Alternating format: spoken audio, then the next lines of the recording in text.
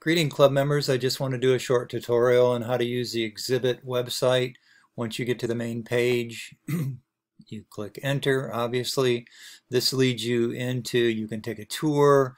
Um, the images are down here on thumbnails. If you use the arrow key, you can scroll to find that image you like. If you want to go directly to any image, you can uh, just double click on it and that'll bring you right to that image. Now you can see there's some things in the way. This, uh, if you just click off of it, that will remove that.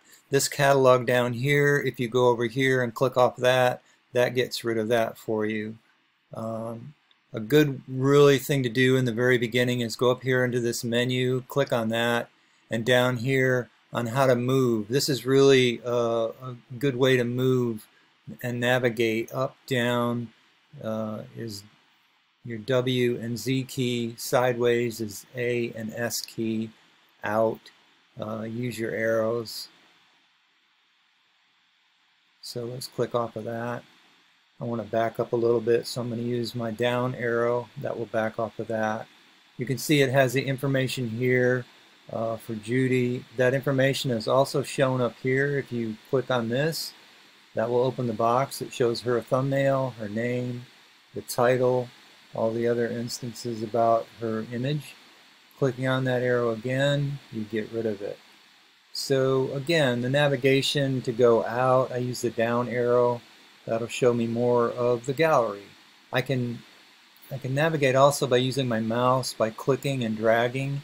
Left will take you left.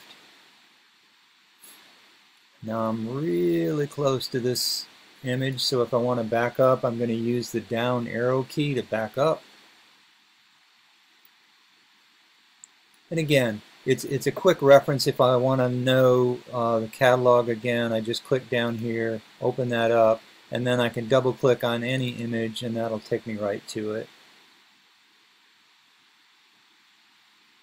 Get rid of the catalog by clicking down here, getting rid of all this, I can click on that that kind of opens up the screen a little bit better.